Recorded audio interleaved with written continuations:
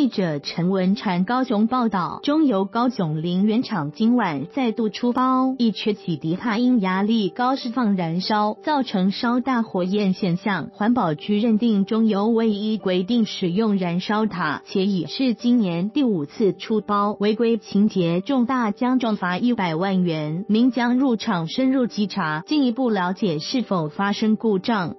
中油桃园炼油厂日前经传爆炸，高雄大林及林园厂同样状况不断，三年多来出遭一百八十五次，市府环保局开罚两千七百四十五万元，且二厂合计今年以六度违规认定情节重大，强制董事长代签，最快本月底到市府上课，成为台湾首次因环境污染强制国营事业董事长上课案例。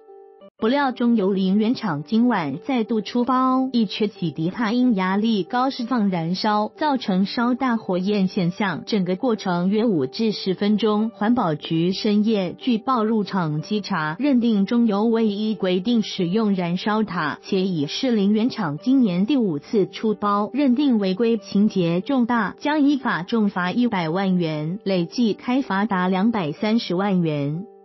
有民众今晚路过双元大桥，目击中油林园厂冒火，当场拍下壮观照片，与脸书林园五四三 po 文又在放火了，引发网友热烈讨论。有人笑称是花灯嘛，还有网友戏称中油知道林园将近怕冷，燃烧熊熊烈火让大家取暖。